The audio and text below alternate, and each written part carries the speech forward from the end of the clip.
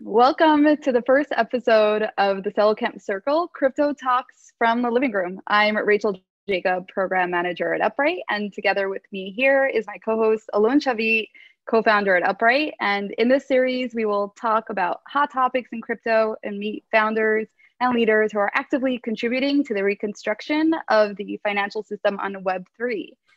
We hope to inspire you with these ideas and the positive impact it can have on a global scale, as well as foster building on blockchain technology and the growth of blockchain ecosystems. So we invite everyone to listen in, whether you're new to crypto, a founder, or simply a crypto enthusiast. So from the living room, joining us today is David Casey and Ofir Avigad, co-founders at Resource Network, uh, to have a chat about credit in the crypto space. Credit is a topic that is so central in financial systems today. It's getting really interesting to see how decentralized credit systems are now being created and being utilized. It's changing the way we view credit, including a topic I'm very interested in, which is giving individuals around the world who haven't had the best opportunities to receive credit be included in a reliable financial system. Alon, what are your thoughts on this?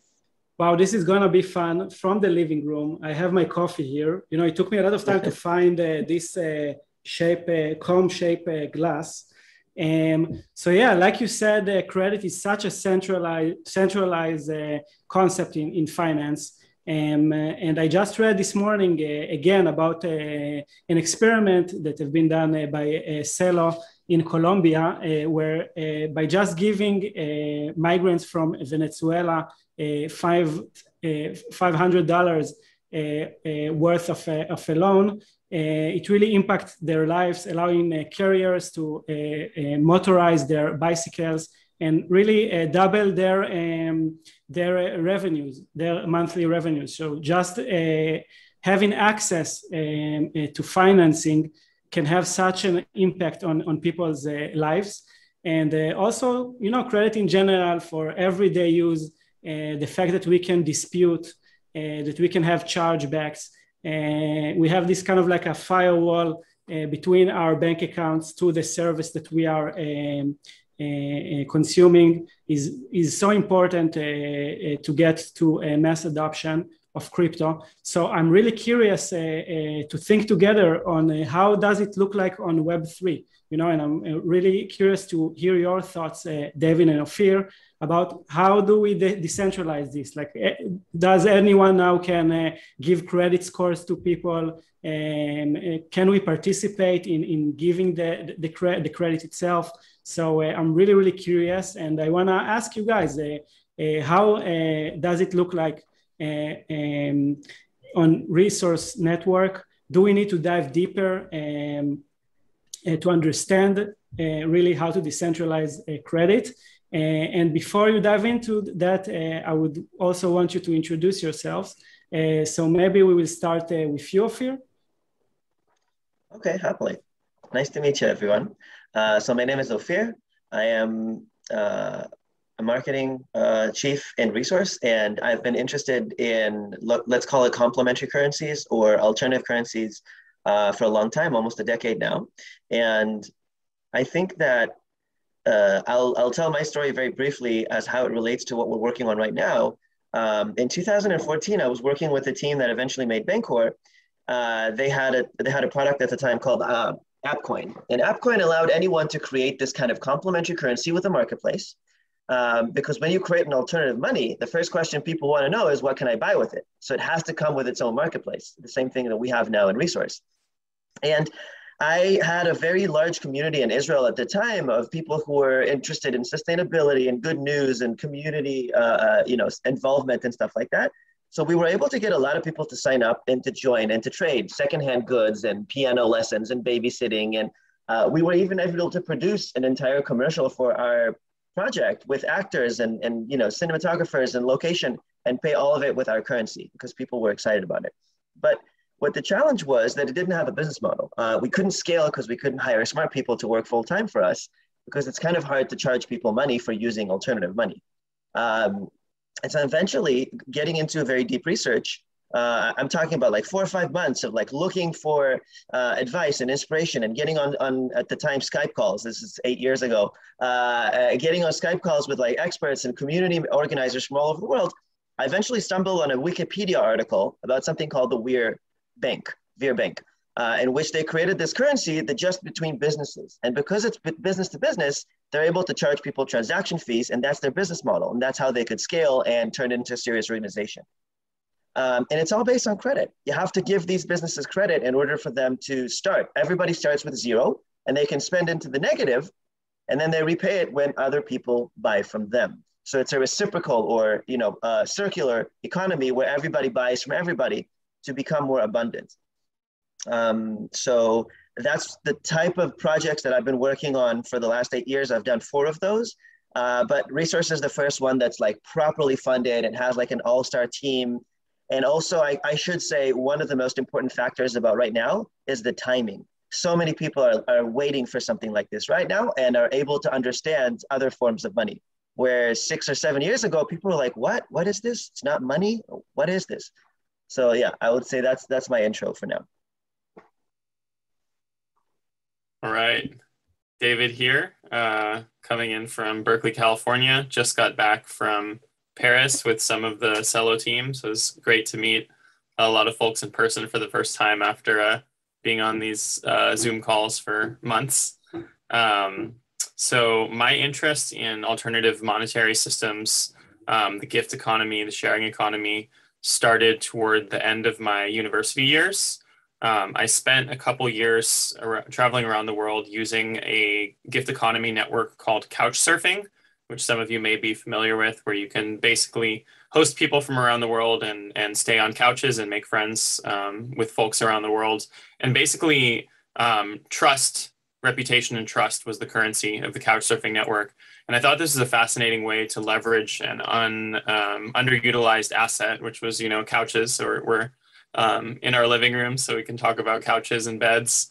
Um, and that really opened my mind to how to create uh, networks of trust that can exchange value without money, like fiat currency. Um, so that was the first one. The WWOOF network was another one I explored a lot, um, willing workers on organic farms around the world.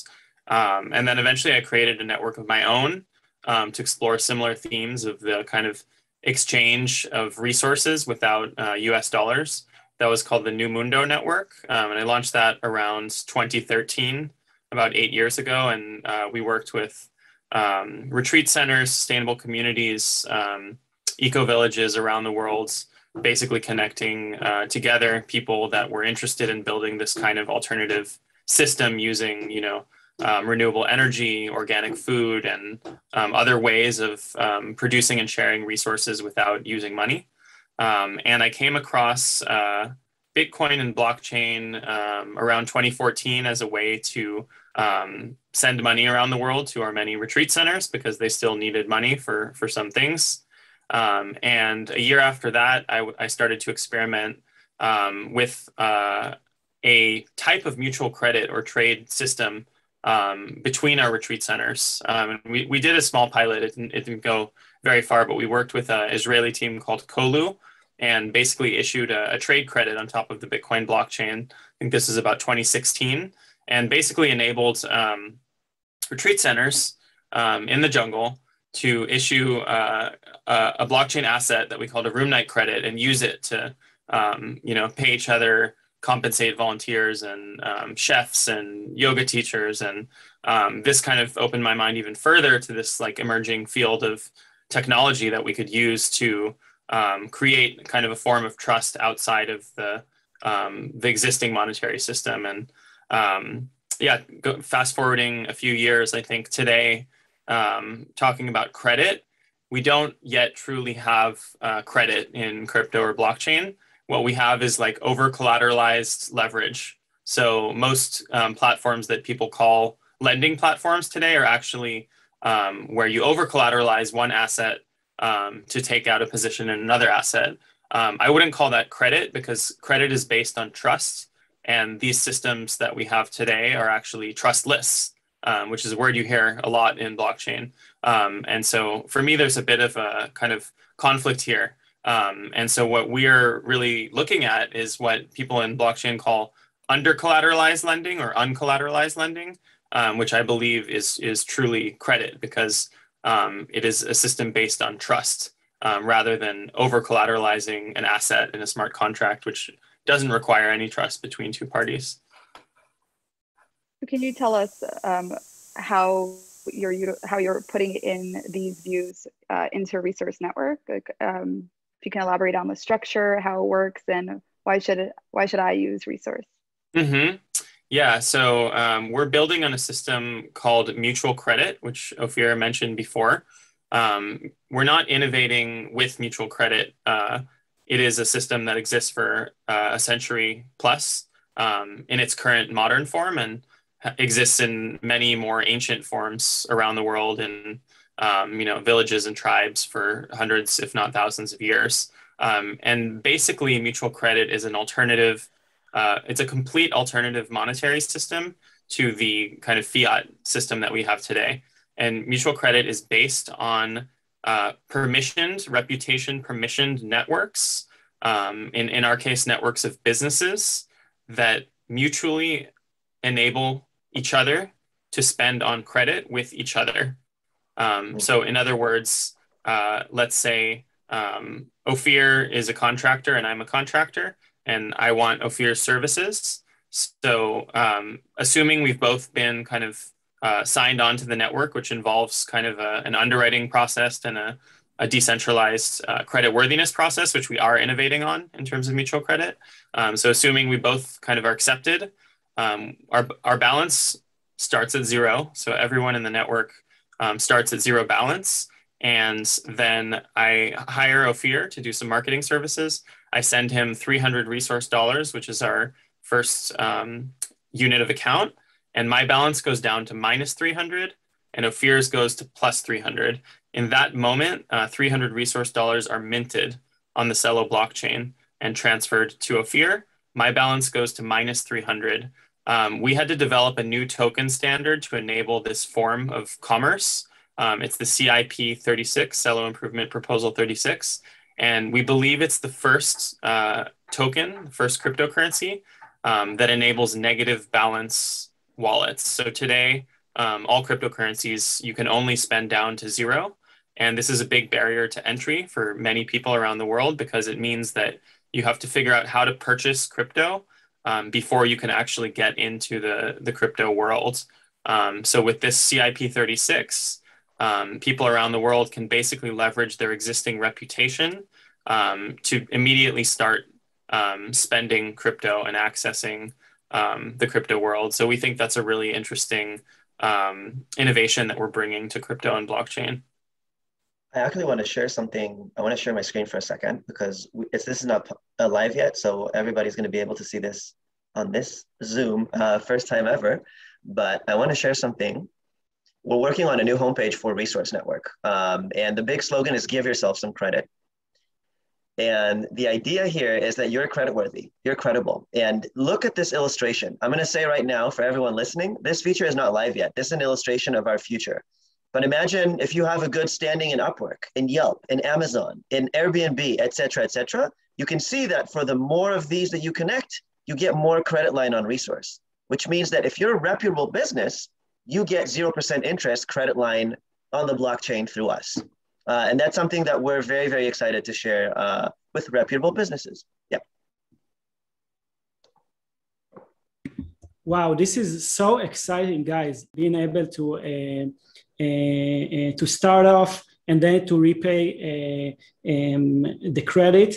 it's really, really mind blowing. And can you elaborate a little bit more about your credit system? Like, uh, how does it work? So let's say uh, I now owe to the network uh, uh $300. Um, how does the network uh, see that I uh, return that? And can you elaborate more about the, the credit itself?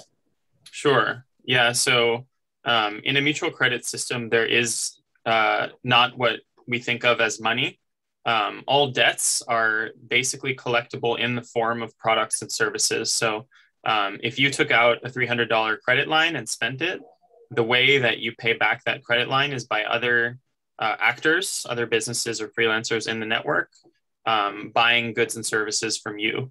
Um, so it's inherently a B2B network um, because in order to get credit in the first place, um, you have to have a product or service that you're offering to the network. Um, and that's the way credit is repaid.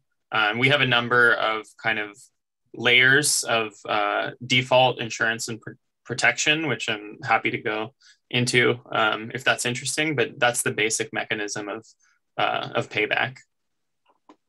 Yeah, I, I, I also want to say. Uh, oh. Uh, sorry, Rachel. I, I, just want to say that a few days ago I had this breakthrough in my thinking, which is, um, you know, people are a little hesitant to take on any type of debt. Debt is not your friend.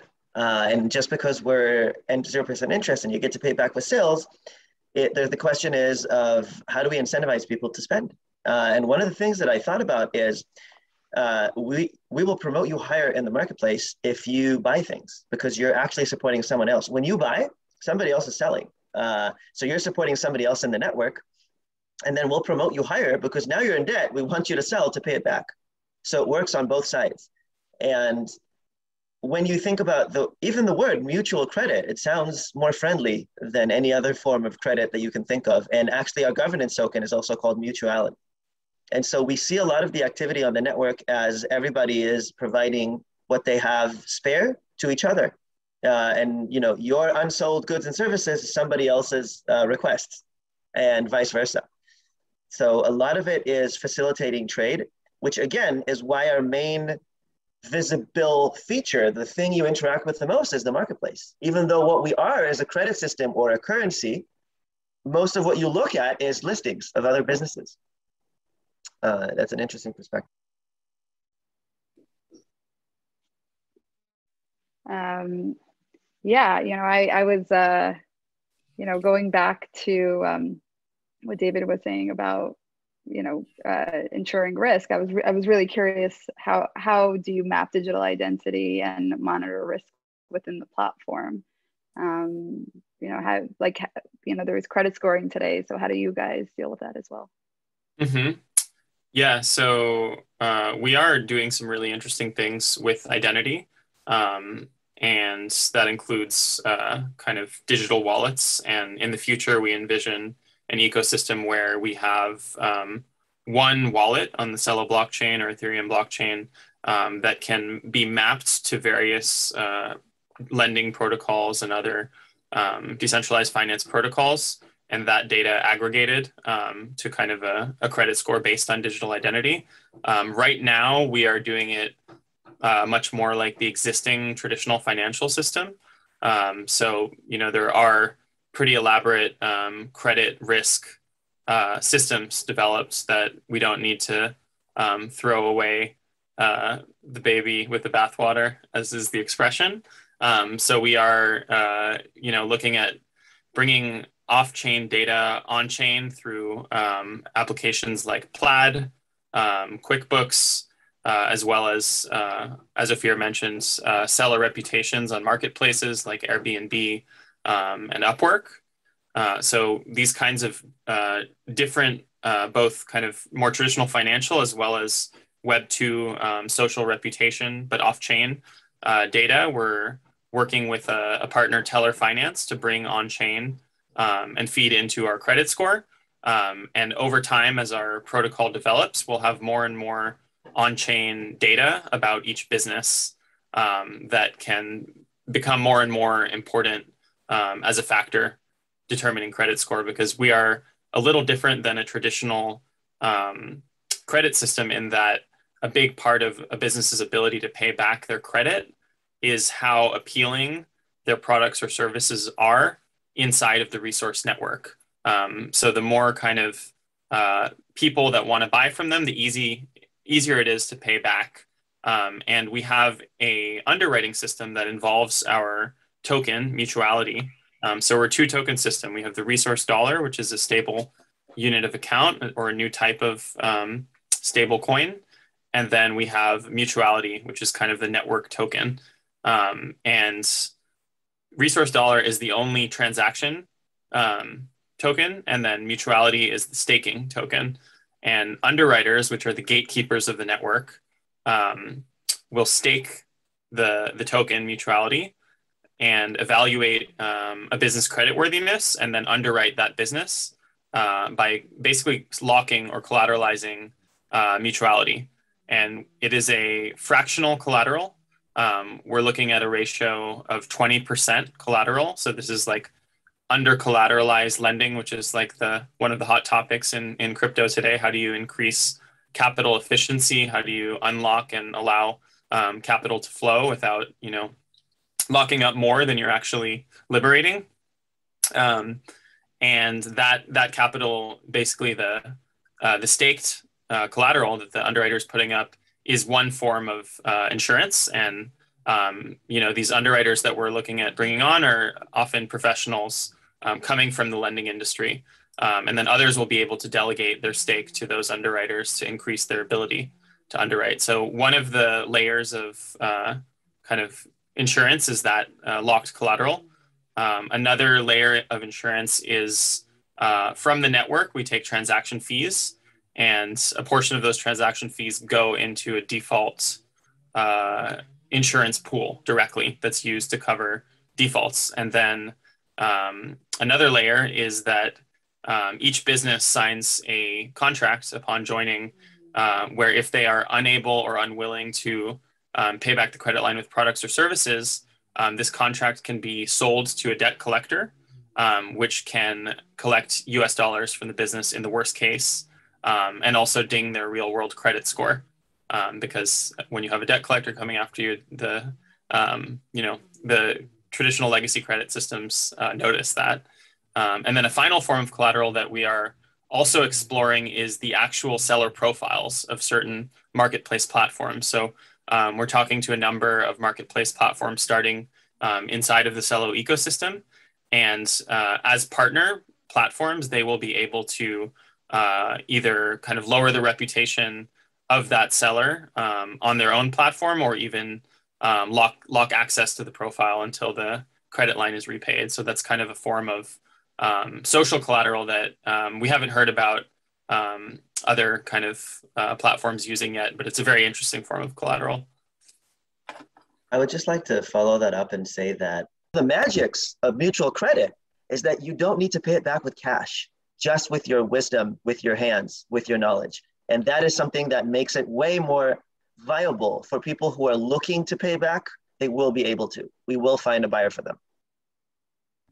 Hey, you know, that was something really interesting when I was uh, um, going uh, more deeply into your website was that if you're in the minus, you can bring up your standing by just replying to your customers. And I thought that that was that was a, a brilliant way to um, to to give people a chance to come back.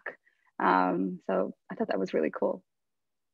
Yeah, we are um, building our system to optimize for transaction volume or deal volume because we think that's um, where the real value is created. So um, we don't think that real value is created by interest. That's kind of a zero sum game and doesn't really add net value to the to the ecosystem. Awesome, awesome stuff. And I have two questions. So for, for, for the first question is, what kind of services would we expect to find on your uh, on your platform? And uh, uh how we can participate? Uh, is it live? What is the current uh, status of the project? And how can we join in? Ofir, you want to talk about cloud city? Yeah, for sure. So I want to talk about two things. Listen, everyone listening to this, when we started this project, David had a really good idea. I did not know how good the idea was until time passed, and I realized more and more how good the idea was. Let's launch this in a small, physical, geographical community. And not just in any community, in Asheville, North Carolina, which is a fantastic place, and I recommend everyone to go visit. Why was that a really good place to launch? Because there's a lot of small businesses. There's resilience in the community around keeping the town local owned, mom and pop, no Starbucks, no McDonald's in downtown allowed. There's no chain stores in all of downtown Asheville. Um, and so the ethos of that city uh, really, uh, you know, melded into what we're talking about, and a lot of people loved it. And so, what you would be able to find if you're in Asheville right now is a lot of uh, different things because it's a diverse use case. A lot of times, when a startup is launching, right, you're an entrepreneur, investors and advisors are telling you focus on one vertical, right? Solve a problem for one customer. We can't do that because if we got seven people who have bakeries, they're not going to trade croissants, right? The baker wants somebody to build a website, and the website developer wants hotel nights, and the hotel wants to have bake, baked goods for the bed and breakfast. And so you have to create these triangles or even you know these networks. Um, so we have a lot of different things in Asheville. We have um, uh, uh, you know from room nights to office space to digital services and so on and so on. Now that we've matured from that moment, where things are going is what we've called Cloud City, which means that anybody from the world could be joining resource with things that are mostly needed from other people. So if you have retreat centers or co-working offices in popular locations, or most notably digital services, SaaS products. So, you know, um, anybody that does anything that's like Upworkable and Fiverrable, uh, all of those core digital online skills, you know, legal, marketing, tech, web development, design, at marketing, sales, customer support. Those are core to what you'll be able to find on Resource. And then on top of that, we're looking at a lot of SaaS products because we think that's just really good. If you could get your accounting software, your VPN, your web hosting, uh, there's more examples. I'm not going to go into all of them, but just think what are the top common 25 things any small business or freelancer is likely to buy? Those are the things we're putting most of our efforts into getting available for uh, the resource credit system. Super awesome. And you know what? I have another question uh, regarding uh, um, the token itself. Uh, so does the resource uh, has also like a DAO kind of like um, properties where uh, the holders of mutuality can vote on things and um, and also regarding disputes and decisions like that um, does the token holders themselves have a role to play Absolutely. Yeah. So we are taking the approach of progressive decentralization, um, which begins with decentralizing the underwriting process. Um, and there are a number of uh, actors in the Celo ecosystem who will be holding um, mutuality and, and being able to underwrite actors um, inside and outside of the Celo ecosystem. Um, so that's like a big part of where we're starting. And over time, uh, more and more people will be able to own our uh, token through incentives that help grow the community and help onboard more businesses. Um, and uh, yes, we are we are building a DAO. Um, we plan to uh, you know get as decentralized as is reasonably possible, um, one step at a time. We wanted to go um, faster, but it's it's not easy um, to decentralize the things that we're trying to do um, immediately because we have to build them out and test them um, first and kind of uh, do it step by step.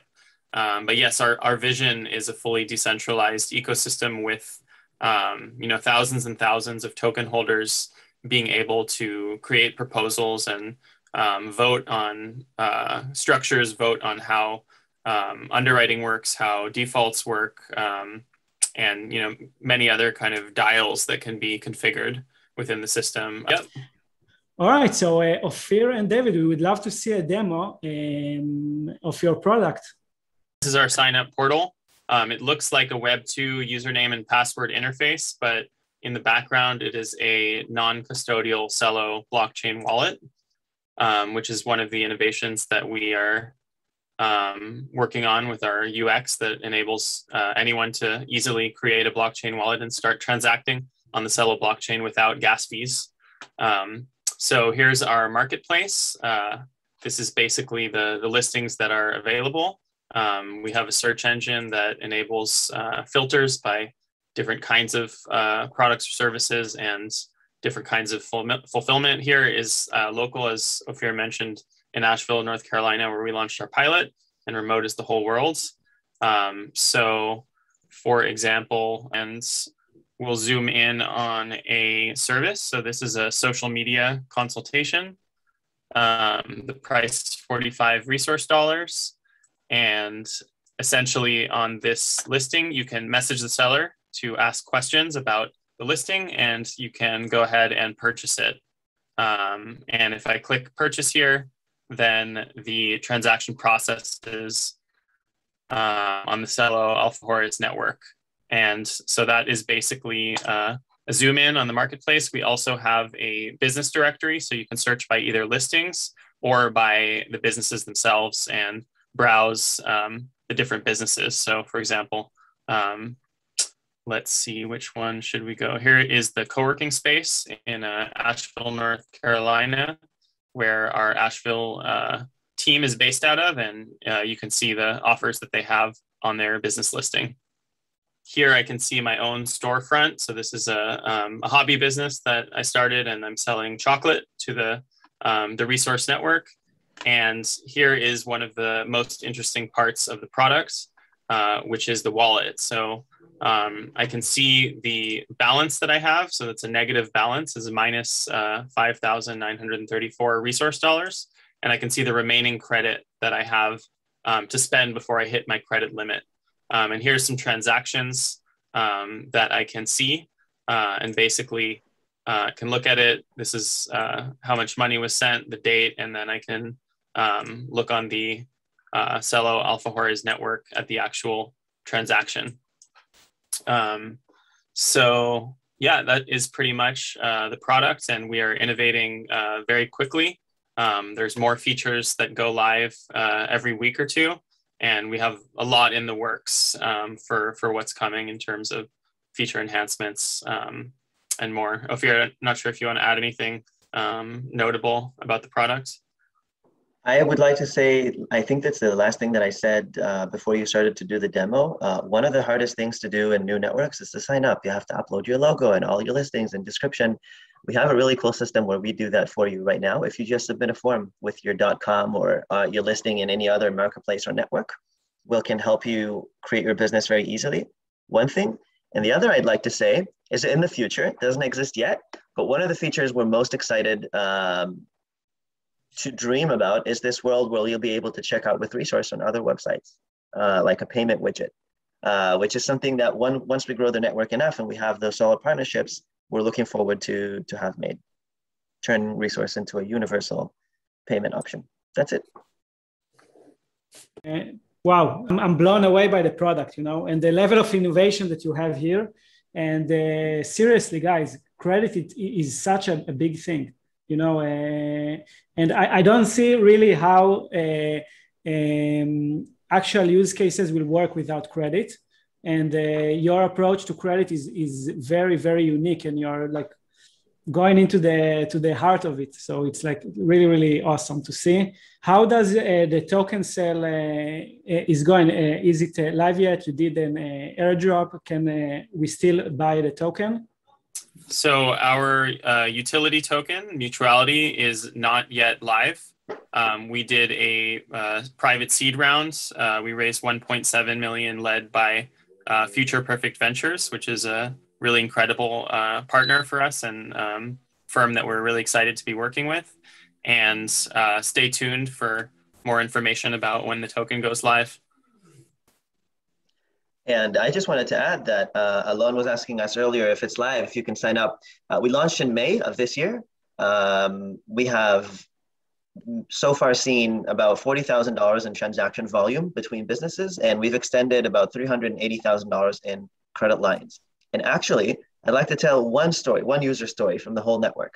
Uh, there was a company that um, was asking, how could I spend my resource dollars in a way that is consistent so that I'll be able to sell my product on the other side? And they came to one of our uh, meetups and they heard that we're focusing on healthcare. And they said, that's crazy that you're saying this because we were just discussing how we can provide benefits to our employees. So this one company is now giving 10 of their employees a uh, couple hundred dollars in health benefits per month in resource dollars that they can spend with healthcare professionals and telehealth. Uh, and this is live. This is already happening. The employees are already have the money in their wallet. And a lot of times, investors and other uh, uh, people want to know uh, resource. Are you only focusing on businesses? This is our answer. Now we also have employees of these businesses involved in the network. Really cool. This is awesome stuff. So thank you so much, guys. Yes, thank you so much, David and Ofir. This was this was uh, really really awesome to get to sit down and and talk to you guys and get more of an inside look into Resource Network and decentralized credit, what you're doing. It was um, it was a pleasure to be working when we worked with you at Celo Camp and to see where you've taken your project um, is really inspiring to see. And I just really love the direction that you guys are taking. Um, and I can't wait to see uh, what comes next for Resource. Alon, do you have any any uh, final thoughts? Yeah, thank you so much, guys, for taking the time uh, to speak with us uh, uh, today in our very first uh, episode. And um, really, what you are doing is, is, I think, so groundbreaking and also so uh, central to, to finance in general. So I know that I will be keeping a close look at the project and follow up on your posts. Um, so thank you so much. And you know, I invite everyone to come to to Resource Networks and uh, check out their uh, uh, amazing project and participate. So yeah. thank you so much. Alon, if I can, I just wanted to say everyone that has a business, freelance um, around the world is welcome to join our network. It's resourcenetwork.co. Uh, and we've recently simplified joining. You just need to submit a form with your name, email, phone number, and business website or like Instagram of the business, and we'll help you get set up. Uh, so everybody's invited. Reach out to us. We're here to support you. Thank you so much, guys. Thank you. we will see you next Bye. time. Bye. Bye. Bye. Thank you.